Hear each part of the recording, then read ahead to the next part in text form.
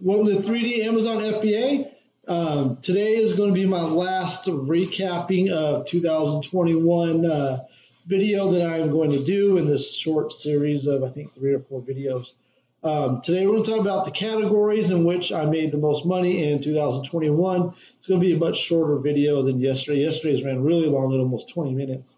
But um, anyways, before I get into it, make sure you guys like, share, subscribe to the channel. If you guys want to share um, any uh, like your top stuff that went on in 2021, leave some comments down below. Let me know what was your guys' top category. Um, mine will come as no surprise for anyone that has been watching my channel for a while. You guys know I specialize in grocery. So, uh, you know, obviously that's where I'm to make the most money. So we're to dive into this right now that I'm back on um, Inventory Lab. So to see this report, you know, I didn't show yesterday either. You go to reports, this is category profitability. If you want to see whom you're buying stuff from, you go to supplier profitability and that will pull up your top suppliers. All right, so here we go with, you know, grocery. Uh, like always, I'm always talking about grocery products. Sold 16,000, almost 16,100 uh, grocery items last year. Um, and I sell a lot of bundles, so this isn't like individual like bottles of barbecue sauce or salad dressing or whatever. This is 16,087 Amazon ASINs. So um, I probably buy, I don't want to quite say double because I sell a lot of two packs, three packs. But, um, you know, probably sold closer to like 25,000 grocery items if you want to talk individual product. Um, had 432 returns, which isn't that bad. You know, if you look at the disparity between toys and grocery, there's not a lot of grocery returns. Amazon doesn't accept, you know, they say they don't accept grocery returns, but if people get stuff that's damaged or whatever, if they just call Amazon, they'll they'll return that. I typically just give customers a return. They're like, oh, I got this ten dollar thing, um, it came busted. Um, I'll just give them a return just to you know, provide good customer service and save them some time and whatnot. So that's $825 I spent in merchant fulfilled shipping. It's a lot of candy and stuff like that that I sold merchant fulfilled. But you can see 222 and a half thousand or 0.5 thousand um, dollars in revenue in grocery. Almost half my revenue came out of the grocery department, if you want to call it that and I profited $42,528 in the grocery category. And again, my ROI is about 53%. So for those of you that don't understand ROI, for every dollar I spent, I profited a dollar 53. And I currently have uh, 1,488 uh, items on hand. I've got a, quite a bit of stuff, about seven or 800 items Amazon hasn't checked in. About 500 of that total has been sitting there for over a month.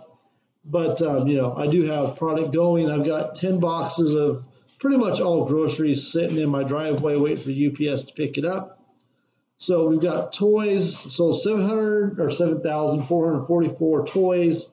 283 were returned, which is quite a bit. A little bit of merchant fulfilled. I mean, that's really not too bad, but you know, I'd like this to be a lower number.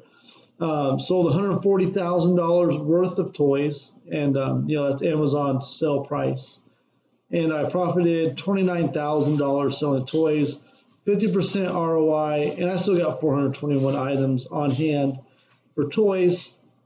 You know, so um, you know, right now is for me personally isn't really a great time to source toys. I like to wait until all the clearance is gone before I start sourcing toys again because the, the prices just drop so fast that um, you know I'm a little cautious on that. Um, next would be beauty. It's 1,704 units sold, 66 returns, $350 in merchant fulfilled, and I sold $22,558 worth of beauty products. I made a good chunk of change though, $4,700 profit, almost a 63% return on investment. I still got quite a bit on hand. Um, and that's because I've been sending in a ton of stuff from Sally's Beauty, and a lot of this just has isn't available for, for purchase yet. Um, beauty is a category I want to focus more on in 2022. You know, I want to get back to using Sally's Beauty quite a bit.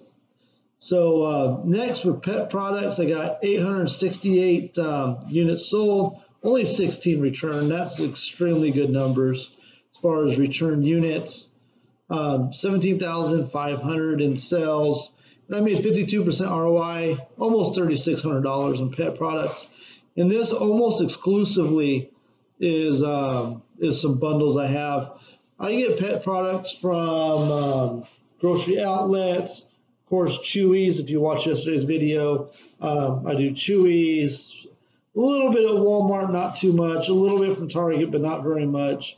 It's mainly grocery outlet and Chewy's right here. Um, apparel, this is Walmart, T, uh, TJ Maxx, and Marshalls. Maybe a little bit of Ross, but it's almost nine times out of ten those three stores. Um, sold almost seventeen thousand and uh, made thirty two hundred dollars. Forty four percent ROI is not that great, but clothing is very good filler because I sell like a lot of um, glass product sometimes, like if I find it or not, like mugs and stuff like that. So this is actually really good padding to go with your kitchen products. Which takes us to the next category. Sold 936 units, and you can see the return rate is so much lower than apparel. You know, because I sold uh, 80 items more, and I had um, that 19 items less returned but I made um, 20, oh, $2,550, 60% return on investment. I still got about 79 items in stock. This is actually a few things I get from like Ross or D's, but this is pretty much just one brand that I get from Walmart. Actually, I did get quite a bit of stuff from the 99 cent store, come to think of it, um, you know, around the middle of the year. So that's probably included in here as well. Home, is kind of lumped in with kitchen. Some kitchen stuff goes here. And then you got like blankets and quilts and stuff like that that I sold a lot of Q1 last year. And I made uh, $1,124 in that in um, 2021. In health and beauty, kind of I mix it in in my head, anyways, with regular beauty. Sold another 300 items here, $840 profit. You see I only got like eight units left. The rest of the stuff, I don't really have nothing in stock. Shoes, this was probably all uh, sandals and uh, maybe some Crocs I sold during the summer. Uh, maybe some slippers that I had left over from Christmas last year. But I made $683 in shoes and only 25 returned. And you can see this is why I don't really do much shoes anymore.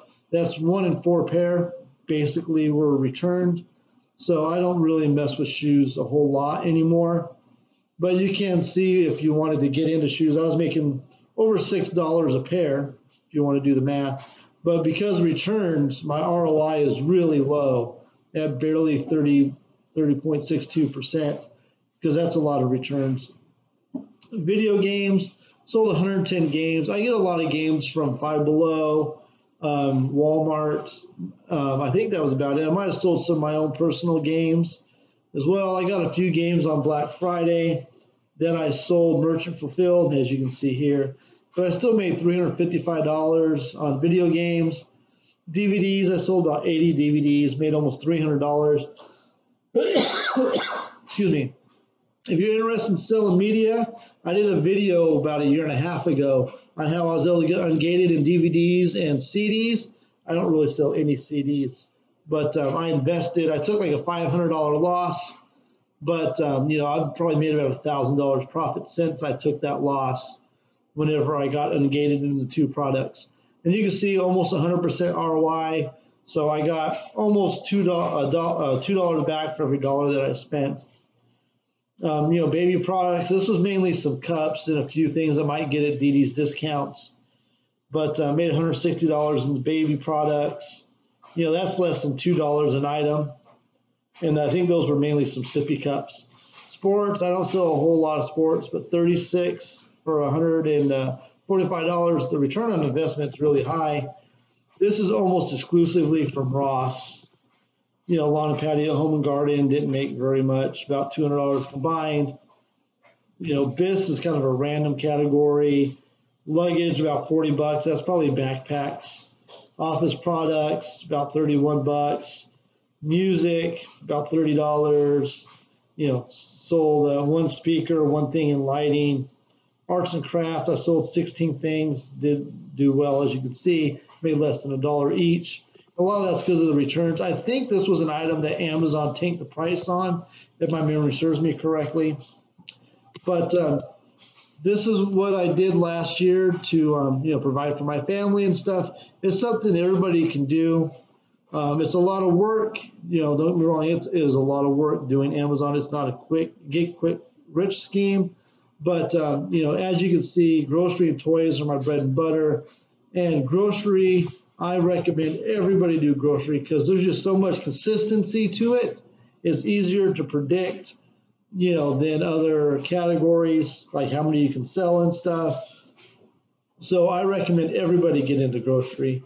So that's what I got for you guys today. I hope this gives you guys some good ideas of where you should spend your time sourcing at different stores and um, things like that so you can grow your business. So make sure you guys like and subscribe to the channel. Thank you for watching.